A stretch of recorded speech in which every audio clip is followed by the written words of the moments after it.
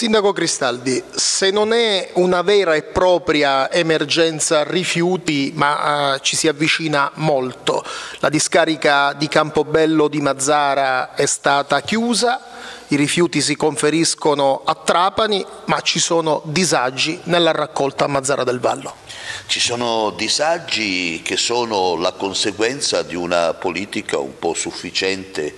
qualche volta persino dilettantesca dell'attuale gestione dell'Ato Belice. Noi contestiamo questa procedura, questo metodo di raccolta dei rifiuti, per il terzo giorno consecutivo i rifiuti a Mazzara del Vallo o non si raccolgono o si raccolgono parzialmente. Questo non può essere accettato anche perché tutti sanno che proprio sulla pulizia della città e sulla capacità di rendere più vivibili le zone eliminando il degrado abbiamo puntato molto della nostra azione. Siamo ormai una città che si proietta anche a livello internazionale con l'immagine turistica e non possiamo eh, per questioni anche banali eh, sopportare questa situazione. Ho già comunicato al lato Belice, alla gestione commissariale, alla signora Sonia Alfano che noi non pagheremo il servizio che non è reso e decurteremo le somme che dobbiamo dare al lato Belice eh, di quelle relative al fatto che il servizio non è stato realizzato in molte parti pienamente. È il minimo che possiamo fare. Purtroppo dobbiamo aspettare che il servizio intero passi al Comune Abbiamo già approvato un piano di intervento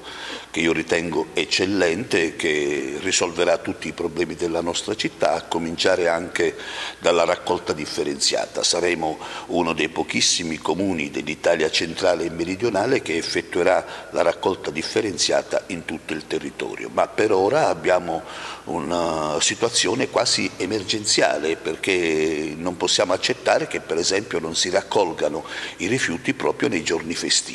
Ma come? Proprio nei giorni festivi quando la gente esce per passeggiare, vuole godere un po' dell'ambiente della nostra città, proprio quando arrivano i turisti, quelli che sono della nostra zona, noi non riusciamo a presentare un'immagine corretta, è una cosa che contestiamo e apriamo quindi un contenzioso con eh, la gestione attuale attuale dell'Ato Belice.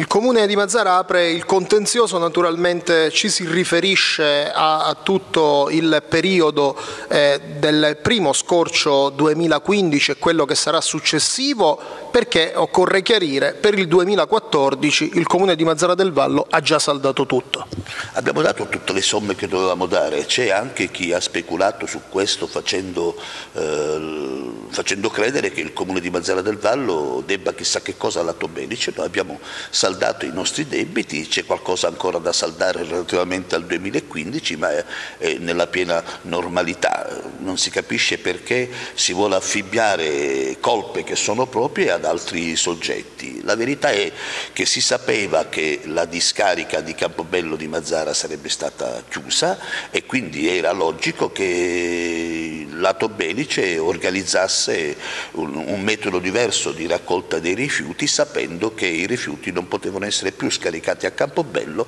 ma in discarica di, eh, distante da Campobello di Mazzara. In questo caso è stata scelta dalla Sonia Alfano la discarica di, di Trapani e naturalmente eh, la scelta della Sonia Alfano è avallata dalla Regione e noi ne prendiamo atto, questo significa un aumento dei costi ma non possiamo accettare che questo eh, elemento di degrado persista anche per colpa di istituzioni che invece sono nate e sono immaginate per risolvere i problemi e non per aggravarli. Per quanto riguarda il piano di intervento oh, che lei accennava, Sindaco, siamo stati anche eh, ad, occuparci dell'argomento oh, qualche settimana addietro, un piano di intervento che prevede eh, un risparmio economico ed un miglioramento del servizio, ma questo quando ci sarà il passaggio all'SRR. A proposito di questo passaggio, questo trasferimento di competenze. Abbiamo approvato il piano di intervento, mi risulta che anche tutti gli altri comuni hanno già pronto il piano di intervento, forse qualcuno lo deve ancora formalmente approvare, ma tutti hanno fatto già le loro scelte. Ciò significa che il piano d'ambito potrà essere redatto nel giro di qualche mese dalla Università di Palermo, dalla Facoltà di Ingegneria e quindi subito dopo la Regione potrà fare la gara d'appalto per eh, affidare questo servizio. Noi intendiamo affidare all'esterno il servizio perché pensiamo che un privato abbia un maggiore interesse a raggiungere risultati eh, diciamo più che sufficienti perché sa che se non raggiunge quei risultati non sarebbe pagato. Il pubblico è stato dimostrato che ha qualche lacuna da questo punto di vista.